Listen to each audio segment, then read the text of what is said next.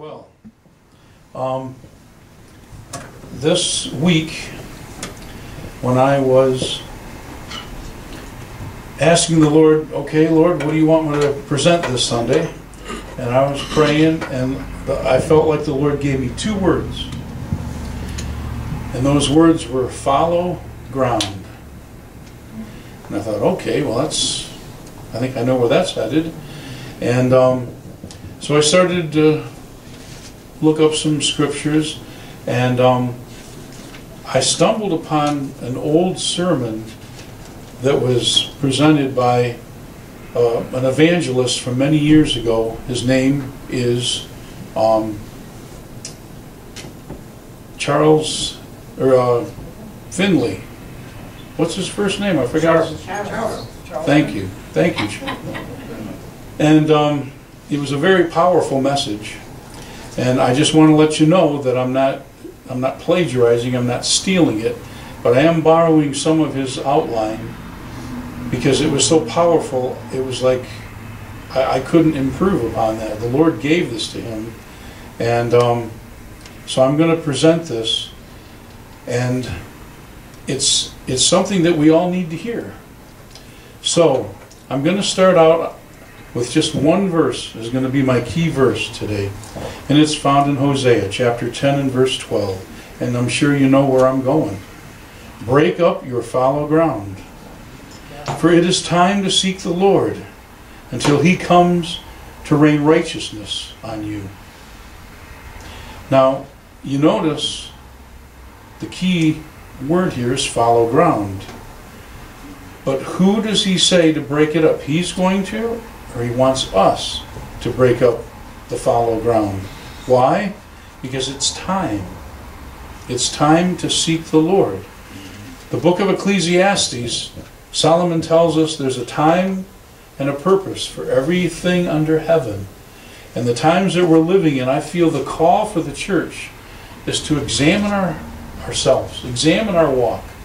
You know, this fallow ground that the Lord's referring to, He's not saying, you farmers, I want you to go out and get a rototiller and dig up your ground. And that's not what he's referring to. He's using that as an example because the Jewish people were mostly into agriculture and some livestock, but they knew what it was like to have fallow ground.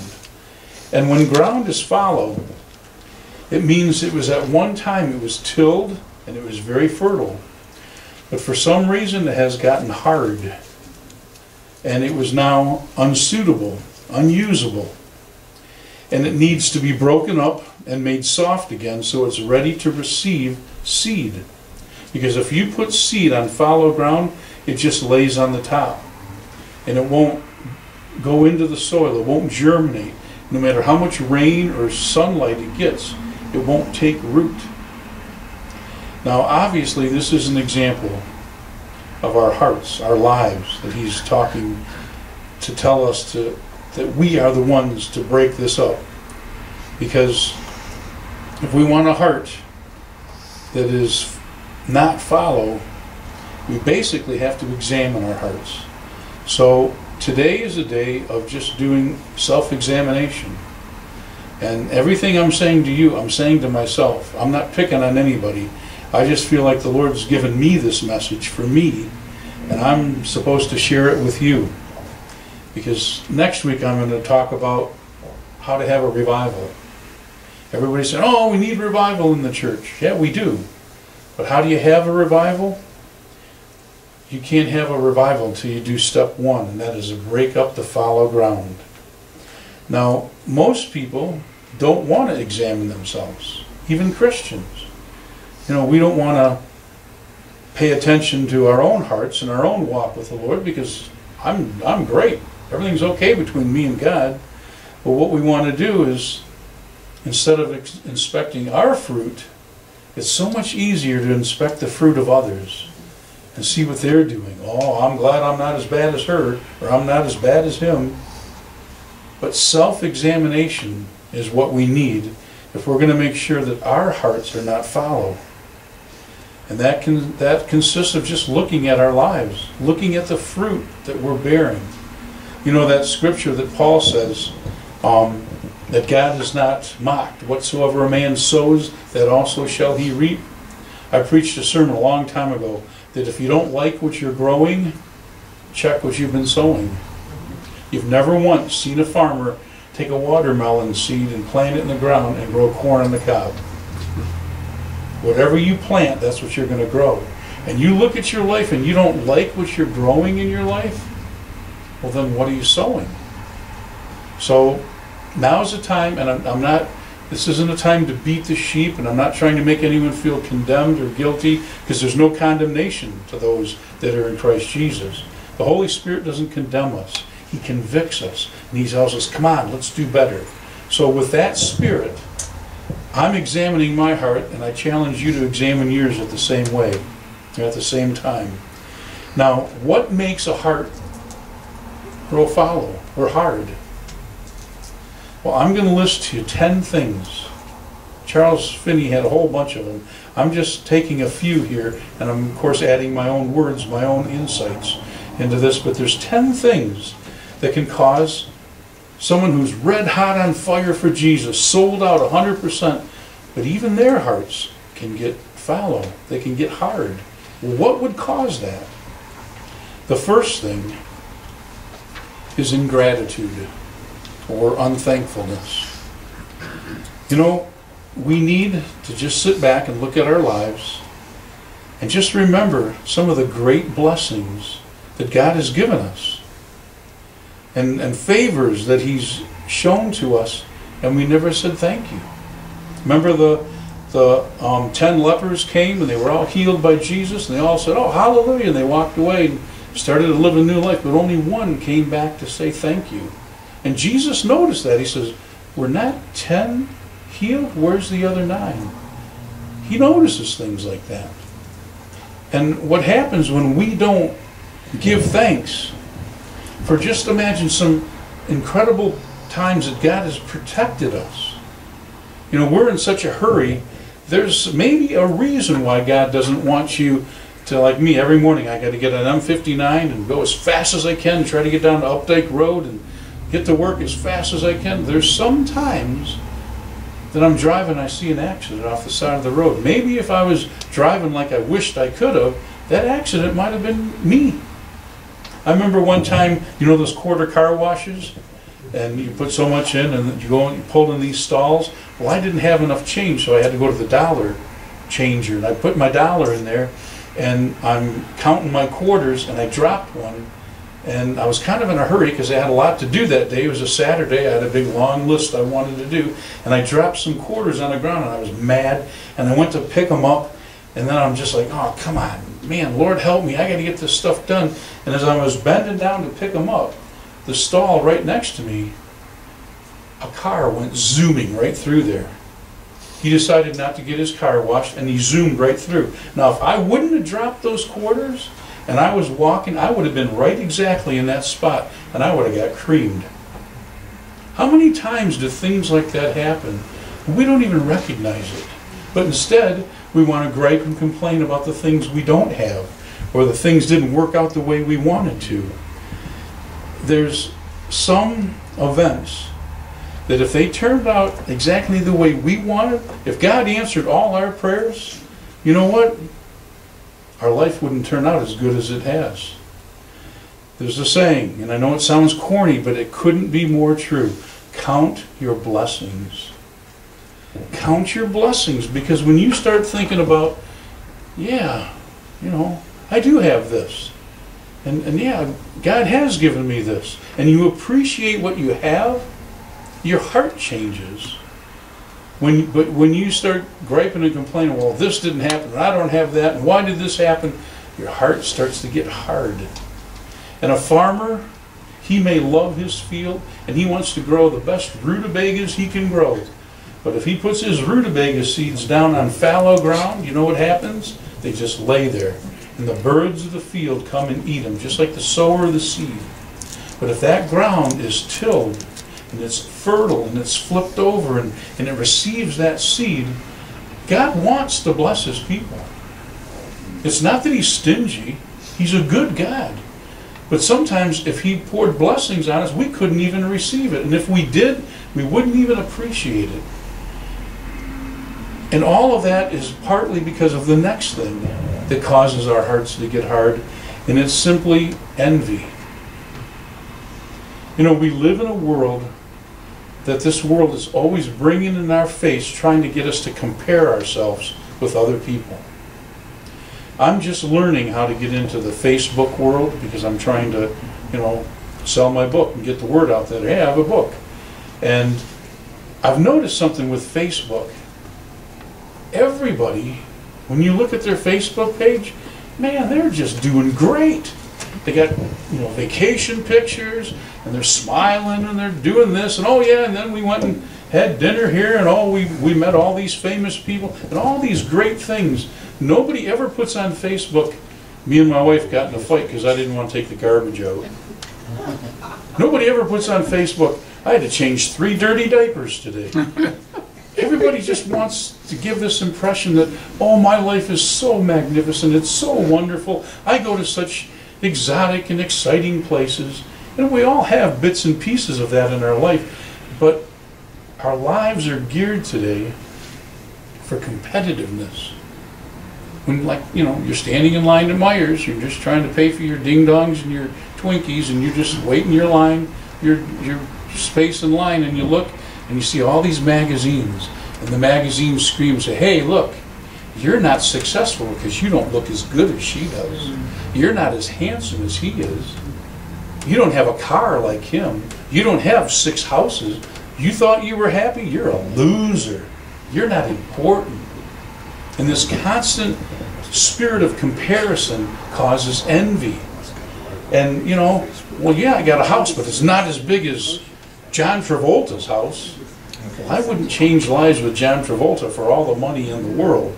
But that magazine's trying to make me think I'm not as important, or I'm not special, or I'm not as successful. When I think about when I was 17 years old, I lived in my car. Try that for a whole summer. And that ain't easy. And I ate whatever I could find or steal. And I used to take showers whenever a friend's parents were gone. I'd sneak in there and take a shower. Try that for a while. So if you come to my house it's not the Taj Mahal, but it's a nice house. And it's the nicest thing I've ever owned, and I'm thankful for it. I'm grateful for it. And a spirit of envy, because what happens, even in the spirit world, or let's say the Christian world, some people, Jesus said this, he gives some 10 talents, some five, and some one. And there's some 10 talent people out there that you've known Christian leaders like this or speakers like this. They go somewhere and if they burp, 20 people show up and they want to hear about it. Other people could work their fingers to the bone and pray and cry and moan and fast, and three people show up and say, Oh, yeah, so what? This isn't exciting. But where's the heart of each person? And some people God uses more than others. And it's very easy to say, Oh, wow, how come God doesn't love me? He's my ministry isn't as big as his. You can't think that way. Because envy will lead you into ingratefulness and unthankfulness. You know what?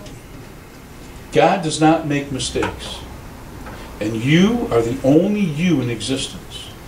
And I'm just going to give you a little bit of advice.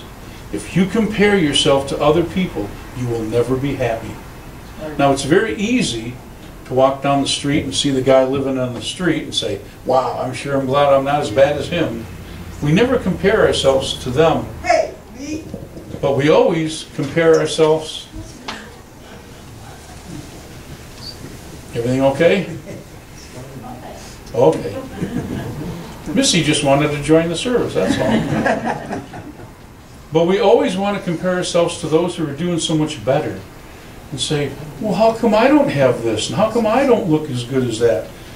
You know what? If you compare yourself to other people, you will never be happy because there's always going to be someone who's smarter, richer, prettier, handsomer. It's not a good word, but it's the truth. Than you. So don't even play that game.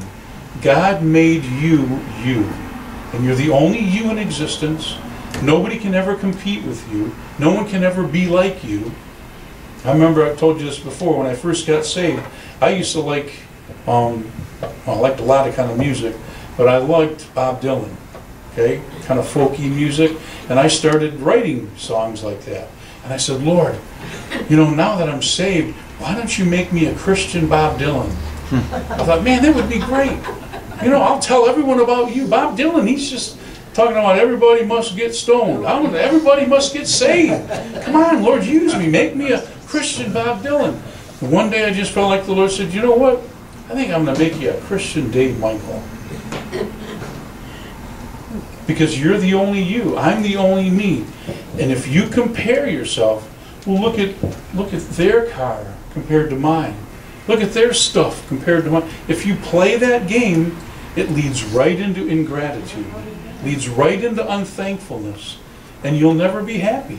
And what'll happen is your heart's going to start to get hard because, well, I thought God loved me. How come he, he gives them that and me, I just get this? And what happens is your heart starts to get hard. The next thing, and it seems pretty uh, obvious, but still, we need to be reminded. Something that will harden our heart is the neglect of your Bible. The Bible says, the entrance of God's Word bringeth forth life. So does that mean the absence of God's Word taketh away life? You know, if we're not in God's Word, it's no wonder we feel like we don't have any direction in our life. And it's no wonder that we feel like our relationship is a million miles away from the Lord. Because we need to hear His voice. Jesus said, My sheep hear my voice, and a stranger they will not follow. If you're not listening to Jesus' voice, you're going to be listening to somebody's. And it won't lead you to life. We need to be in His Word.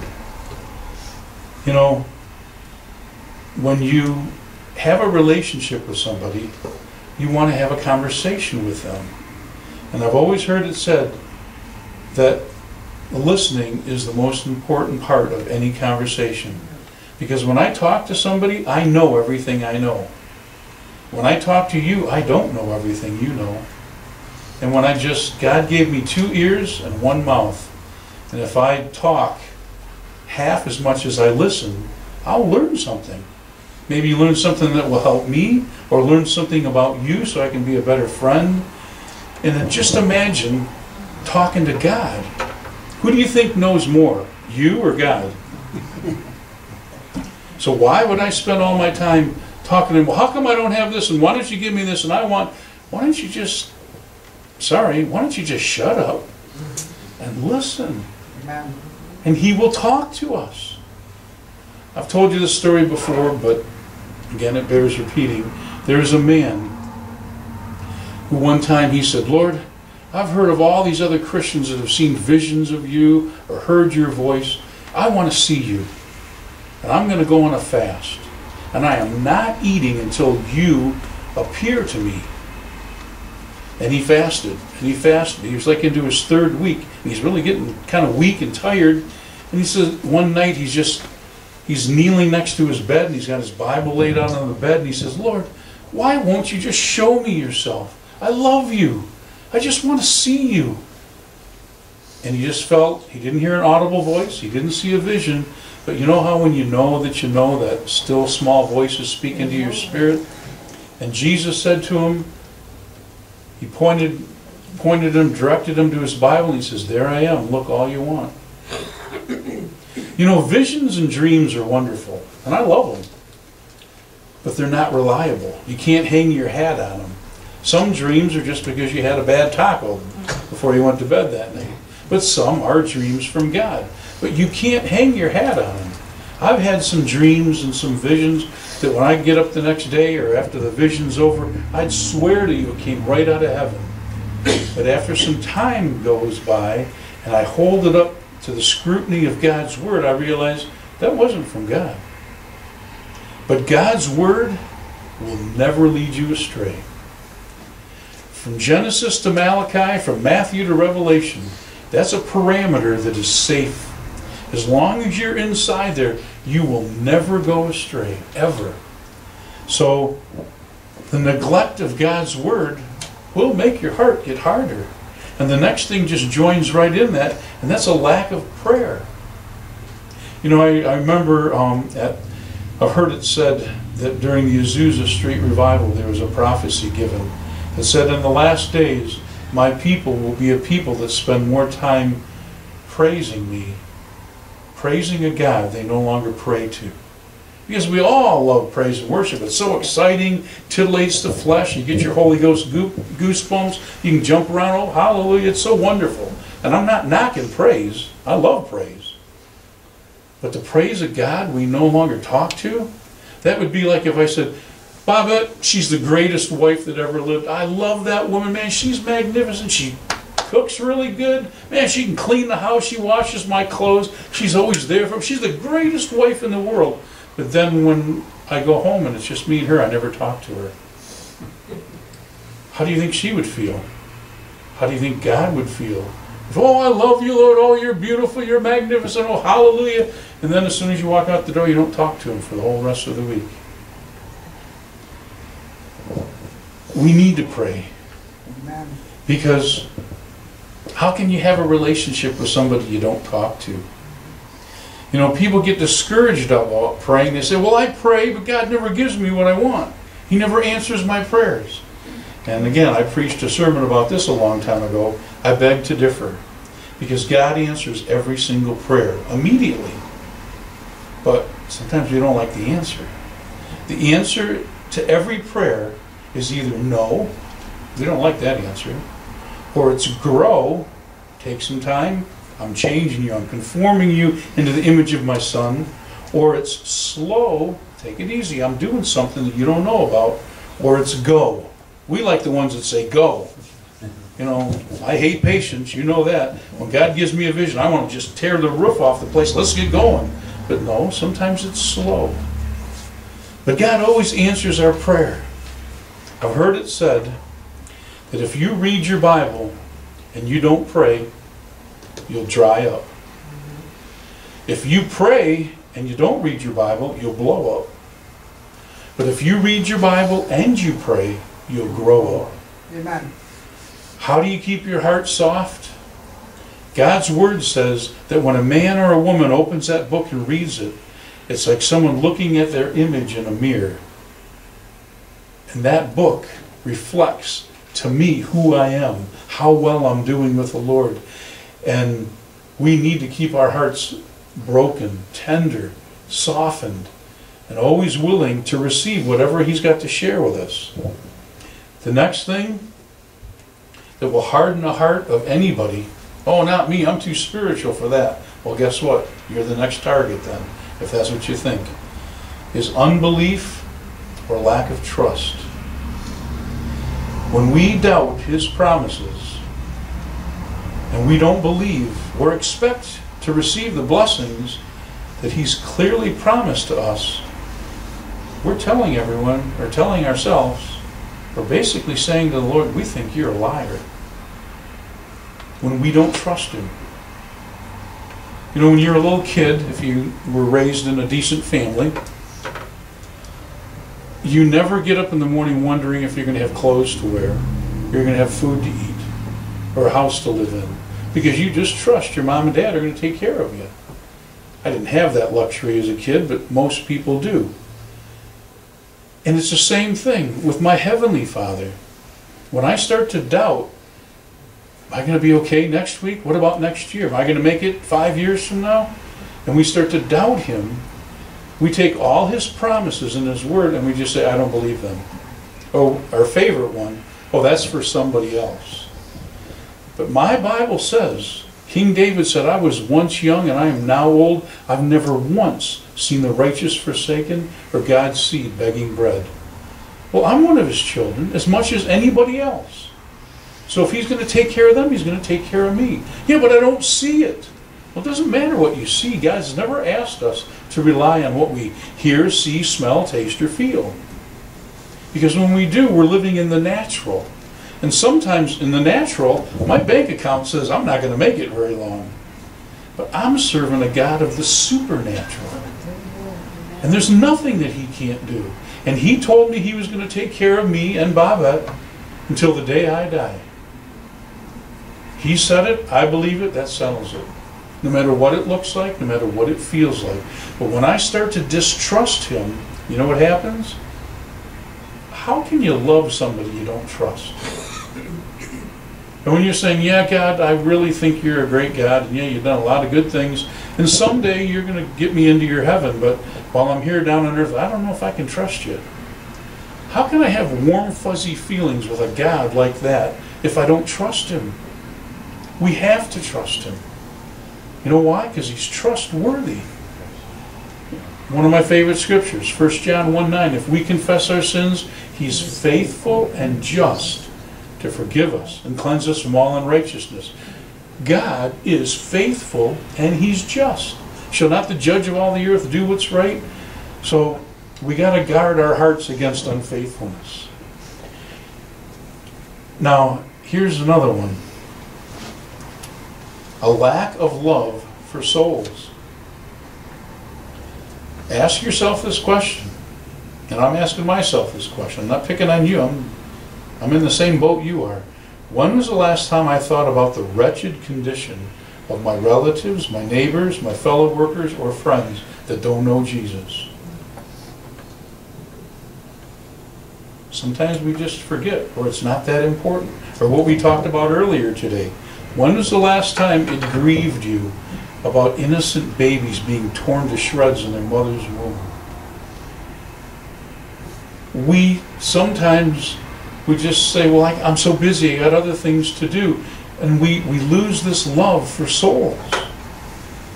You know, Peter tells us that God wishes that none would perish. No, not one, not even one. That's what God's heart is. You know, I, I keep hearing all the time that um, in the church nowadays, and especially around the world, when I talk to missionaries, you're not supposed to call yourself a Christian because it has a bad connotation, especially in other parts of the world. You call you, you call yourself a Jesus follower. Okay? So if I'm going to be a Jesus follower, you know what Jesus said? He said, Follow me, and I'll make you rich. Is that what he said? That's what Kenneth Hagin said. Jesus told him when he showed up, Follow me, and I'll make you rich. No, Jesus said, Follow me, and I'll make you famous. Is that what he said? Follow me, and I'll give you everything you ever wanted. No, that sounds like what Satan offered Jesus in the wilderness. Just bow down and worship me. I'll give you all the kingdoms of the world. No, what did Jesus say? Follow me and I'll make you a fisher of men. Amen. Because that's the heartbeat of God. Other souls. Now, rightfully so, what has happened, those of us that have shared our faith, those of us that have reached out and tried to minister to other people, if you've done it for any length of time, you know what happens is sometimes you'll get punched in the nose. You'll get a door slammed in your face. Or you'll even get stabbed in the back. And after that happens for a while, you know what? Guess what? Your heart starts to get hardened. And you get to a point where you, you almost want to say, well, then go to hell. I don't care if you're not going to listen to me. And that's dangerous, dangerous territory. We can't do that. We got to keep our hearts tender towards other people. I've talked about before in Hebrew, a lot of times when the word mercy is mentioned, in the Hebrew, the definition of that word is with skin on. You know the old saying, never judge a man until you've walked a mile in his shoes? Well, we need to be with skin on. We need to understand what that person's going through. I can't tell you how many times there's been people in my life that when I first meet them, they're very unattractive emotionally or repulsive. But when you get to know them and you talk to them and you ask questions, you find out what's happened to them in their life to get them to that point, and your heart starts to go out to them, and you, and you start to feel a tenderness for them. It's very hard to be angry or hate somebody that you're praying for. But we got to have that tenderness towards souls. And I'm going to go on a little rabbit trail here in the same venue. What we need to do as Christians, and this is very important, is we need to have a love for the body of Christ, for our other brothers and sisters. And it's the hardest thing to do, and it's been amazing to me how hard it is for Christians. We just need to learn to get along. Now, I've told you this many times before. You see our church, we're not a big mega church. And if everybody that came to this church would have stayed, we'd be over 200 people. But I've never, and I'm just being honest with you, I've never had anybody come and tell me they're leaving the church because they thought I was a heretic or because I was preaching inaccurately. But almost every single person has left. Well, some have left because other churches have more bells and whistles, and fine. Hallelujah, if that's what you feel God's calling you to. But most of the people have left because of interpersonal, you know, squabbles and fights. And people just can't get along with each other. Think about this. When you talk to a fellow brother or sister in the Lord, and, let's say in our church in particular, just stop for a minute and just think about what if somebody talked to me that same tone of voice and that same way? How would I respond? We're all part of the same body of Christ. If we can't get along with each other, what's that say about Christianity? We're going to live together forever in God's kingdom. We get to practice down here. And so many times there's there's struggles and there's power challenges and people I want to do this and I want you know everybody wants to rise to the top of ministry and get their name in lights and who cares? Who cares? If you know John, the apostle John says, "How can I say I love God that I can't see if I hate my brother who I can see?" So the loss of love for souls, the lost, and even within the body of Christ. When your heart gets hardened, you've been hurt in churches. I hear meet people all the time that have been hurt in churches. It's not when that happens, but or if it happens, but when it happens. Just go to Jesus and say, Lord Jesus, I've been hurt. Would you please heal me? And Jesus said, Come unto me if you're weary and heavy laden, and I will give you rest, even unto your souls. But we got to keep that tenderness towards other people, the lost and the saved, or else the only thing that's going to happen after that is our heart will get hard. And we have a fallow heart, fallow ground. The next one, and I'm moving along, I promise. The love of things and possessions. There's an old saying Who owns your possessions? Do your possessions possess you, or do you possess your possessions? When the state of my heart concerning my earthly possessions is to the point where they're mine and they're more important to me and they start to own me, the, the carts in front of the horse. Because do we look at these things as if we own them and they belong to me? Let me ask you a question. When you came to the planet Earth, how much did you own? Zippo. Let me ask you a question. When you leave the planet Earth, how much you taking with you? Zippo. So all this stuff is just a bunch of stuff that we get to play with for 20, 30, 40, 50, 60, 80, 100 years. It's just stuff. And there's nothing wrong with having nice things. We want to have nice things. But do those nice things own us or do we own them?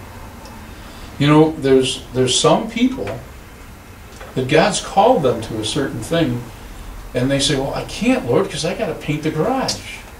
Oh, I can't, Lord. I got to cut the lawn. Oh, I can't, Lord. I got to go get. I got to get this fixed, or I got to do that.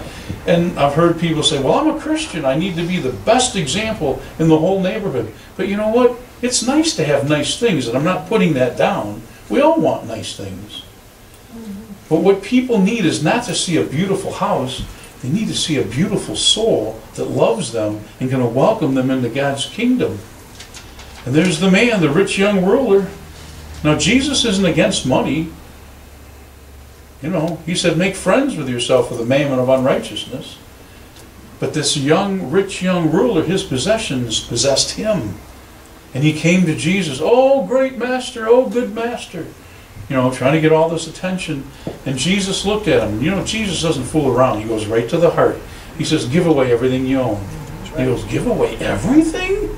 Do you know how much I own? And he couldn't do it. Let me ask you a question. And I'm asking myself the same question.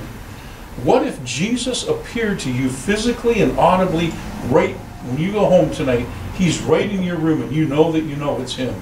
And he says to you, I want you to give away everything you own and come and follow me. Would you do it?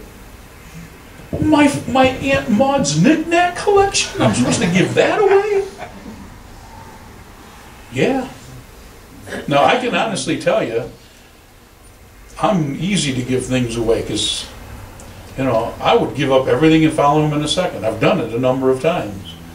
That's never been a problem for me, my possessions possessing me. I guess because when I was a little kid and I got kicked out of the house when I was eight years old, I had nothing with me, and I've never felt secure with owning things. I've always liked to be travel light and be ready to leave anytime I could because I didn't have that security of a, a house where I could keep all my knickknacks. But do your possessions possess you? Because if they do, you're going to protect your stuff. I love you, Jesus. I'll do anything for you, but don't touch my stuff. I worked hard to get this stuff. I shine it up. I paint it. I wax it. I put a light on it and put it up here in the, on the my favorite shelf up here. Don't I love you, but don't touch my stuff. we got to remember, we're just pilgrims passing through. That's all we are. And you know what? God wants, He created us to want more. That's good because it motivates us to keep moving in life. But always make sure your heart's in check. Is this stuff working for me or am I working for this stuff? Because remember, someday when we leave this world, we're joint heirs with Christ. Amen. And everything that belongs to Jesus belongs to you. And He's got some really cool stuff. And you get to own it as much as He does. So He's not saying, I want you to do without forever. He's just saying, the stuff that I bring across your path, enjoy it.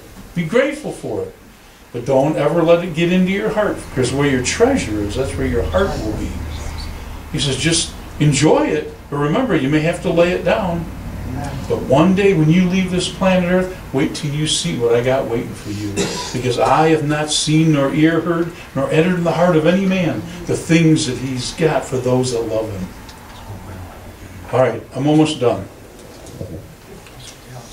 Another thing that will cause a hardened heart is vanity or spiritual pride. In the morning, on Sunday morning, do we spend more time worrying about how we're going to dress our bodies when we go to church than we do preparing our hearts to be in the ministry and the worship of God? Man looks on the outward, God looks on the heart. That's what Samuel told us. And it's only natural. I, I want you to look as nice as you can. I got I don't have much to work with, but I try to look the best I can. But that's okay. But what about the heart? Now, this this vanity and spiritual pride, do we try to impress other people with how spiritual we are? Because you know, Jesus used the word hypocrite a lot. And that word hypocrite in the Greek means like an actor who puts on a face in a play. And when we get together, we all put on our, our Jesus Christian face. Hallelujah, glory to God, everything's wonderful in my life. You know, it's just me and Jesus all the way. But when we go home, we take our plastic face off and hang it up and just say, Woe is me, how am I going to make it through another week? Jesus is just looking for us to be honest and to be real. That's all he cares about. Right. What's in the heart, not what's on the outside. And, you know, spiritual pride is, it, it stinks in the nostrils of God. Because you know what it is? Where it originated? There's this created being. His name is Lucifer. And he was gorgeous, intelligent, magnificent. You know, parts of his body are instruments. When he breathes in and out, he will exude music. And his job was to take all the praise and worship of the entire created universe and present it into the throne room of God. And one day he said, I like this. I'd like some of that praise and worship to come my way. And because of that pride, I mean the five eyes, I will ascend to the sides of the north. I will be like the Most High God. I, I, I, I, I. That spiritual pride is what caused all this mess that we're living in today. And anything that even smells like that, God hates. You know, the, the most intelligent man who ever lived, according to God, Solomon, wrote in the book of Proverbs, he said there's six things that God hates. No, seven are an abomination. I learned a long time ago, stay away from the abominations. Because God will abomination over an abomination. So stay away from those. But he gives a list of six things and then God impresses on him, no, add another one. And you know what the thing he added at the top of the list? A proud look. Now, you may say, well, what's that got to be, do with me? I'm a Christian. So many times I've seen ministers and ministries that God starts to use them and it starts to kind of go to their head. Mm-hmm. And I'm not saying I'm above that. Maybe if I would have been one of those that just said, hey, we're opening a church, and 10,000 people flocked in, I might be susceptible to saying, wow, I guess I'm really a great preacher. Look at all these people that came. I don't have that, so I don't have to worry about it, that spiritual pride. But some people do. And I've seen it go to their head, and you've seen them too. Very famous, well uh, grounded ministries have gone astray because that went to their head. I mean, we look at it in the in the secular world, musicians, movie stars, they're always having award shows to pat each other on the back. Here's an Emmy, here's an Oscar, here's a, you know, all these other awards, and they get worshipped. And people get posters of them and hang them up on their bedroom, And they get worshipped. God will share anything with any of us except for one thing, His glory. Because we weren't designed for that. Amen. Because it goes in and it gets into your spirit like it did with Lucifer and it can destroy you. So, spiritual pride, you got to guard your heart. Many of you remember um, J. Vernon McGee. Get on the Bible bus. I remember him saying once he was talking to a young preacher, and he says, Now I want you to remember something in your life when you start preaching, because you're going to hear a lot of people criticize you and praise you and give you all their opinions. He says, Just remember this nobody's that good and nobody's that bad. Amen. So you just do your best, right. what God has given you, and let Him take care of it. Don't be a man pleaser, be a God pleaser. But spiritual pride is what's got this whole mess that we're in because Lucifer just said, hey, I want to be like that. Two more to go, and I'm almost done. This one is a bad crippler. This one will harden your heart like anything else. Bitterness bitterness.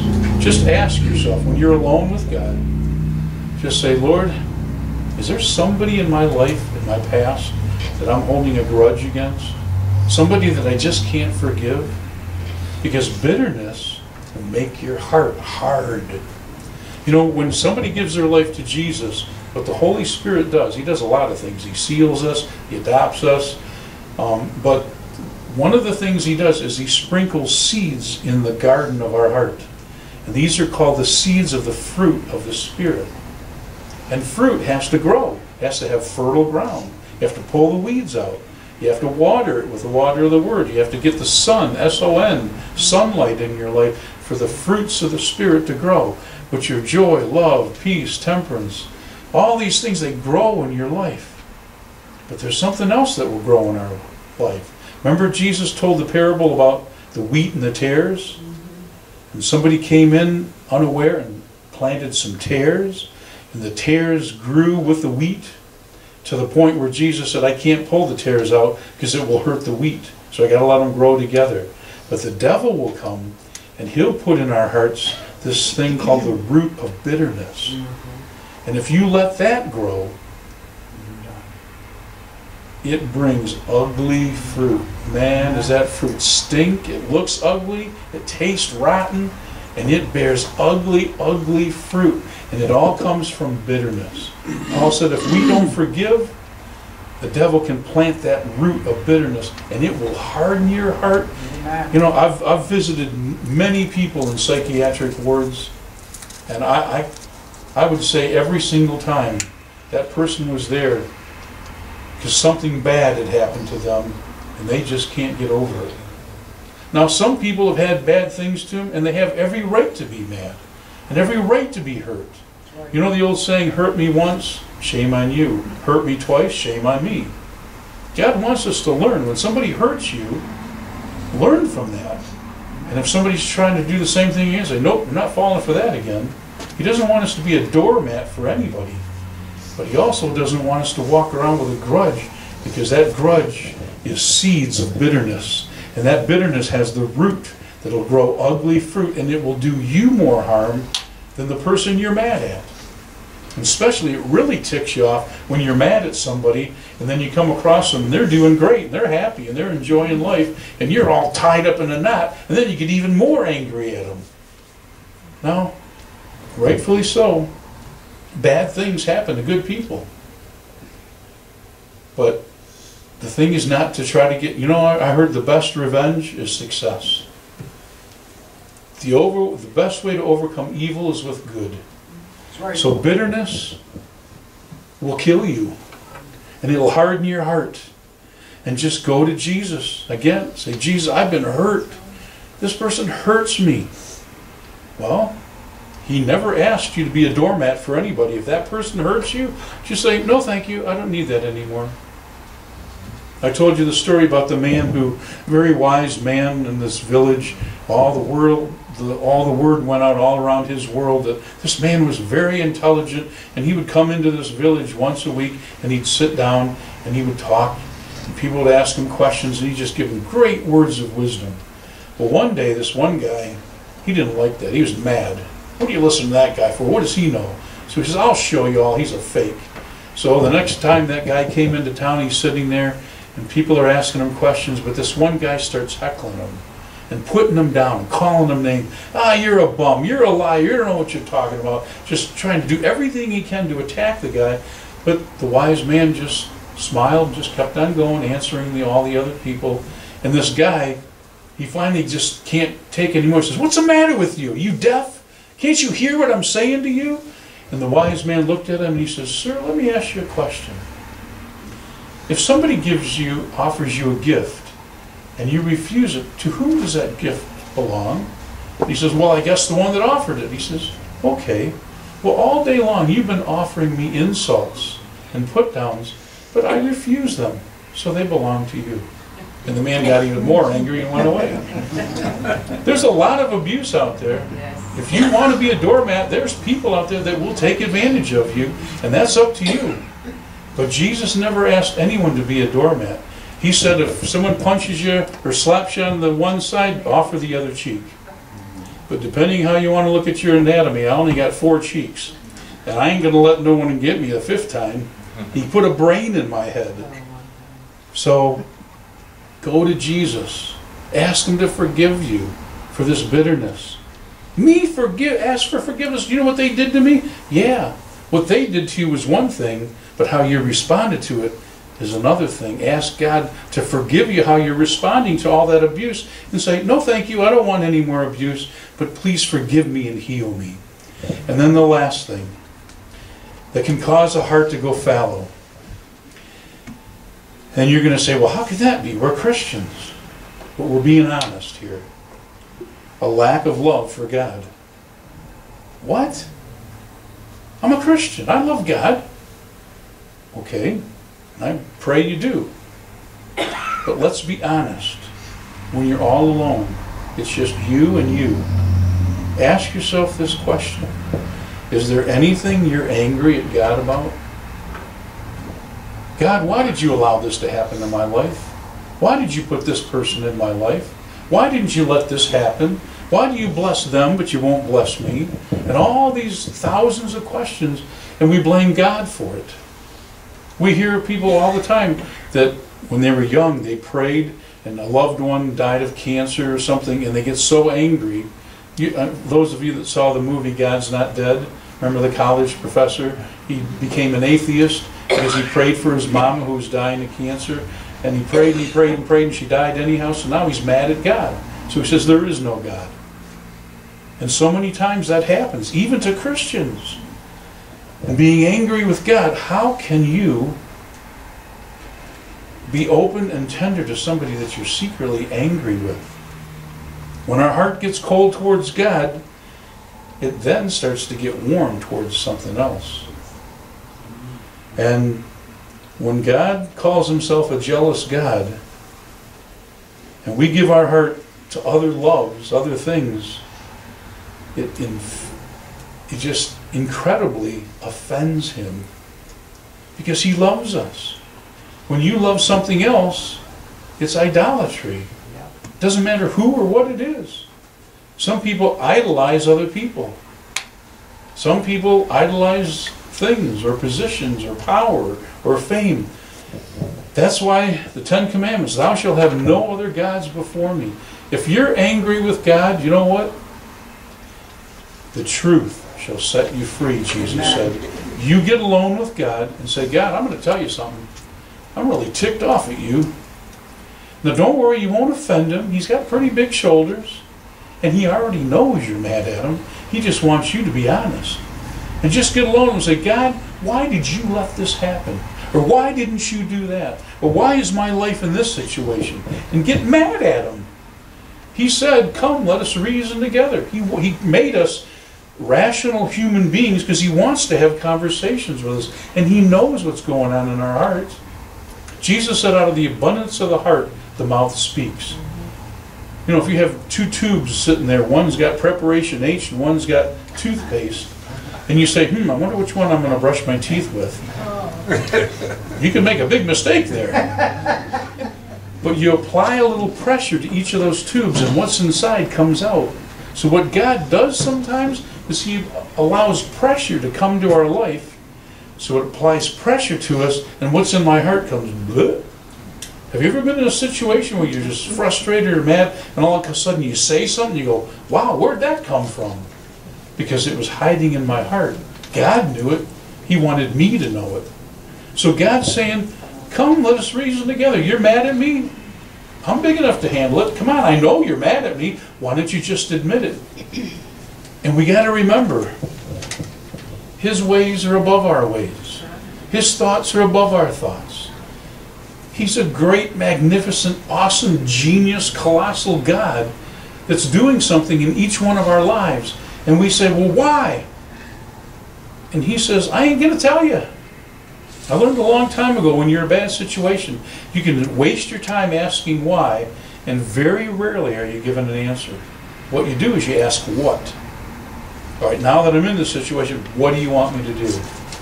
And say, Lord, I'll be honest with you. I have a really bad attitude about this.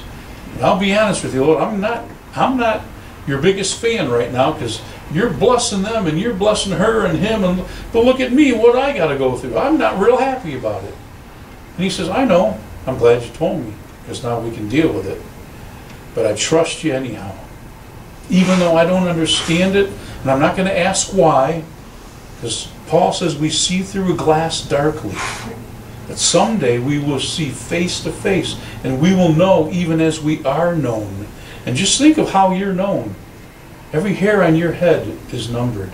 Every tear you've ever cried, he's caught in a bottle and numbered them all. He knows your DNA strand because he put it in your body. That's how well he knows you, and someday you're going to know him that well. But in the meantime, just be honest because the truth will set you free. So, when somebody asked Jesus, it was uh, Simon the Pharisee, he went to his house, and he says, you know, he's thinking he's going to catch Jesus in some kind of little trick or something and make him look bad. Well, you can't. You can't make Jesus look bad. He knows everything. He created everything. But Simon the Pharisee went up to him and he said, Okay, Rabbi, what's the greatest of all the commandments?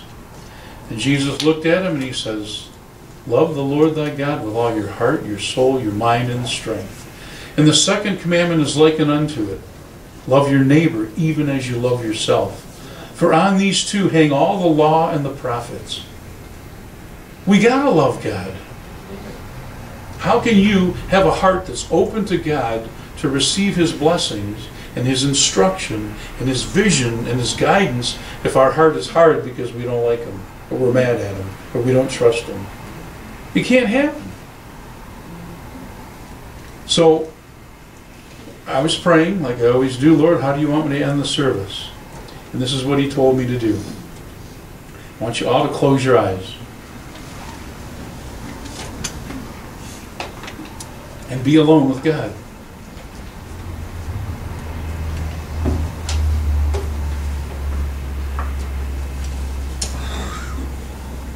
Now, this list of 10 things, did anything strike a chord? Did the Holy Spirit put his finger on anything that I said today? Now remember, there's no condemnation to those that are in Christ Jesus. So if you're feeling condemned, that's not God. Rebuke it. But if you're feeling a conviction that says, you know, that's you, let's deal with it. I want your heart to be open towards me. Remember what he told Hosea? It's time for us to break up that fallow ground. So what I'm going to do is I'm going to play that song, Hear Our Cry. I don't want the praise team to come up. I want you to be alone with God. I'm going to play this song, and anybody who felt like the Lord spoke to you on any of these 10 areas, I want you to just come up here and just be alone with Him and get it taken care of and open your heart because I'll be honest with you, I don't know all I'm going to say next week, but I know the topic of my sermon is how to have a revival. Because we all want one, we all need one. But this is the foundation. We got to make sure our hearts are ready to receive what God wants to do in our lives. So, whosoever will, the altar is open. And don't be ashamed, don't worry about what other people think. In reality, everybody should be up here. The tide of praise is rising on deeper passion burning. Hear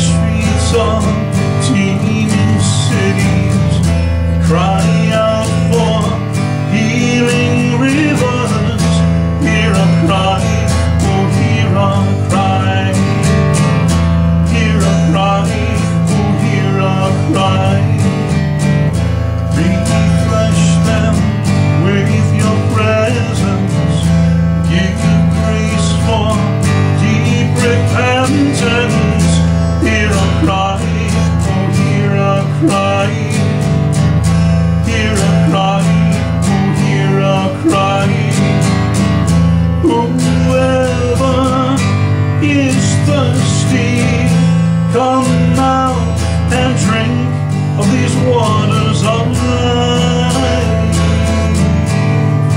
Waters of life. Hear a cry, oh hear a cry.